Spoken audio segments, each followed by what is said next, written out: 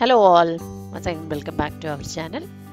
Uh, in this video i'm going to present you uh, a beautiful necklace set using a cotton thread. Into this we will be uh, stitching this sequins oxidized charms or beads. Even you can go with the pearl stitching also.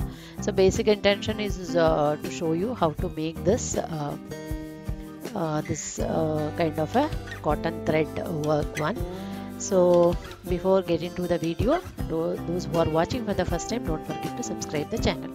So these are the less very less material we are going to use the cotton threads. I have taken here black color cotton thread. So mostly for this one necklace uh, four stands four uh, pieces of this thread will be required. And flower caps. I have taken a wide kind of a flower cap. So if you get a broad one round one also fine along with uh, to stop the thread and join the thread and the flower cap we will be using a pin with the beads like this. And then we require measuring tape and fabric glue then scissors.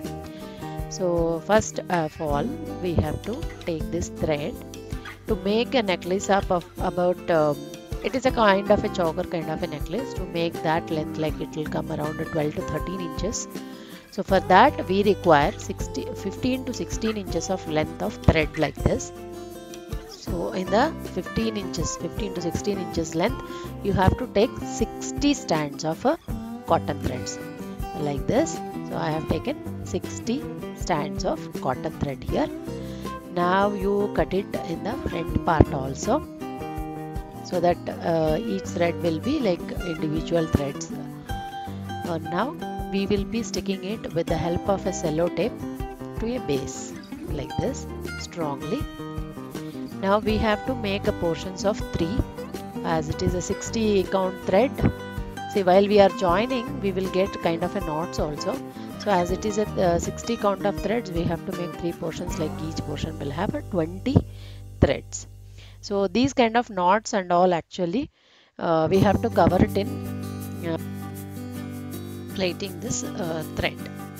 So like this uh, while we are plaiting the thread you have to make it very tight because in further process we will be stitching the uh, sequins pearls whatever design you are planning to this thread only. So that's why this uh, process should be very thicker. And while you are doing if you have any knots knots like joining knots and all that you have to cover back side of the so you, you just has to imagine which you will take it as a backside and which you will take it as a front so backside you have to cover that kind of knots and all. Like this you have to just complete all plaiting this thread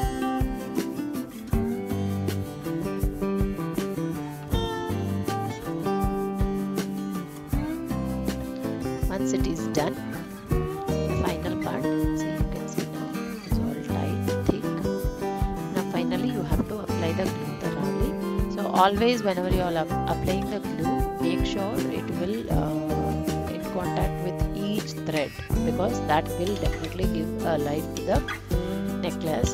So by using your uh, fingers you have to spread it out inside of the thread counts also like this. And you can cut it off the excess thread. Just leave about a uh, quarter inch of thread here and finally apply now with the help of the same color kind of thread just give a, tight uh, knots like this. Three rounds then finally one finishing knot. So as I told you my uh, flower cup whichever I am using now is little widened one. So I have given the knot like little wide uh, kind of a shape. If it is a round kind of a flower cap please go ahead with uh, holding it like a bunch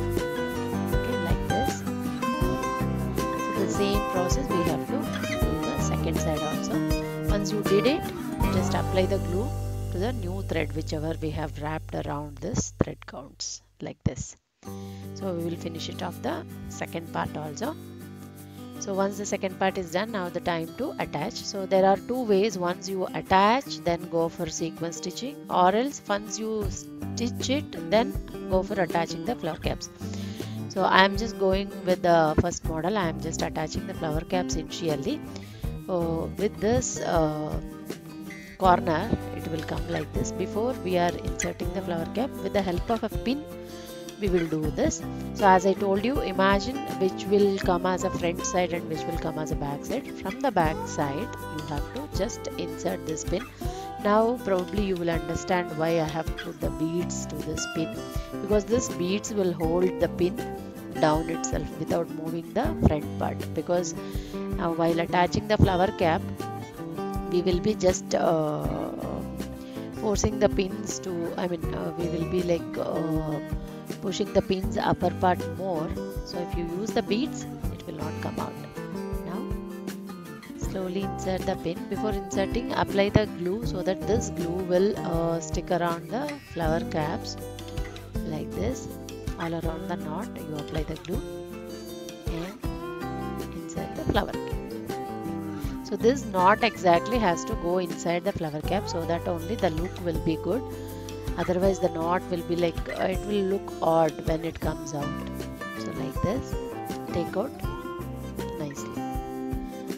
same way you have to follow the other side also. All that you have to make sure the glue will not come uh, below part of the flower cap like this. Once it is done we will plan the sequence now. So here I have uh, collected few antique beads as well as mango shaped charms and logs. So initially this is the pattern I am going to uh, follow. So if you see the necklace uh, now it has come about. We have to just calculate uh, how much length we require. So it has come about uh, 9 uh, 9 to 10 inches length. But when you can you will tape it uh, you will take it as a u shape the sequence line seems to be little bigger than the black thread one. So it will come about 11 inches. So for about 10 to 11 inches sequence initially we will make. So one side I locked and I made the sequence the other side I have I with the use of like uh, uh, beads I have just locked it. One side properly I locked one side I have just left like that only. Because once we start stitching from one side the other side we will see whether it is more or less. So here I am using nylon thread uh, as I told you initially the back part whichever you uh, assumed as a back part that part you have to keep this like this and slowly.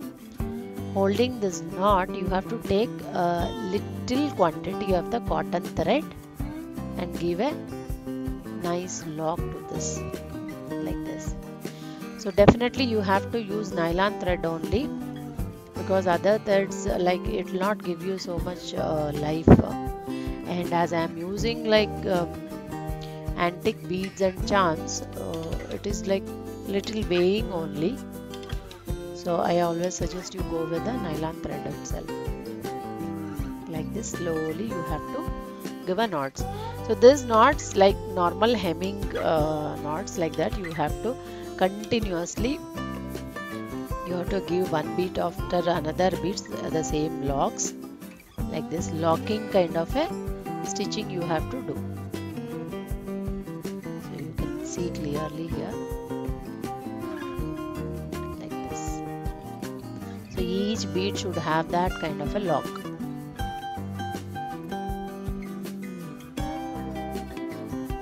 The front part it will not be visible. The same way you have to complete till the end so end I haven't locked because while you are stitching the measurement will uh, seems to be little different. So here see one, one, one inch one inch I have left each side. So leaving that one inch I am locking this then stitching this. Back side also you can see all the locking knots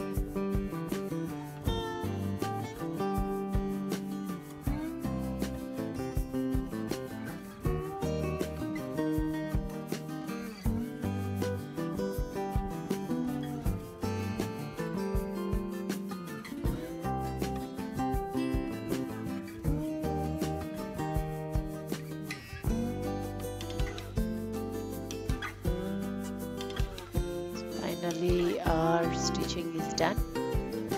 Uh, end of this necklace we have to attach this with the uh, small beads and chains and all. So if you have some necklace uh, threads adjustable threads that is more suggested than chains. So that's how we made a beautiful necklace here. Now I am planning a beautiful earring set to this I have planned like a tassel kind of a earrings. You can see here. Beautiful tassels uh, like with the same kind of a flower cap. So we have to take one stand for this. Uh, we are not going to cut it. Just fold it uh, the half of middle of it. And try to keep it like side by side not over to it side by side because as my flower cap this flower cap is widened so side by side we have to keep it and using the fabric glue make all the count of these threads uh, will get attached initially. So as I told you please make sure every thread count will have uh, this uh, glue attached. And the same way however we did with the pin uh, pin and beads help we have to take a pin from the middle of this thread counts like this. And one finger always hold down of it so that the glue part will not come down. If it come down again the uh, tassel uh, bushiness will uh, really get disturbed actually. So that's why. Now we are just slowly attaching this flower cap. So the way how you will hold it uh, matters actually. So I have holded it side by side the thread. That's why the tassel is like uh, kind of a widened tassel and finally attach with like uh, two to three antique beads and uh, fish hook wire like this.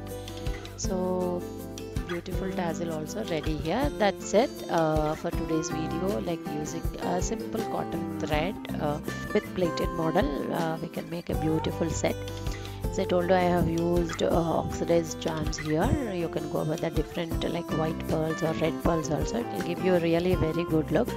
See uh, I'm showing you the other color combination also. Uh, hope uh, you all like this making process and it uh, it was uh, clear to you. And if you got any doubts while making please post your comments if you like the video don't forget to share the video to your family and friends stay tuned with go for crafts for more such crafty videos and the same models are available with the customizations in our store if you would like to uh, a customized order you can always get contact with the given phone numbers don't forget to subscribe the channel and press the bell button to on your notifications. Thank you so much for watching.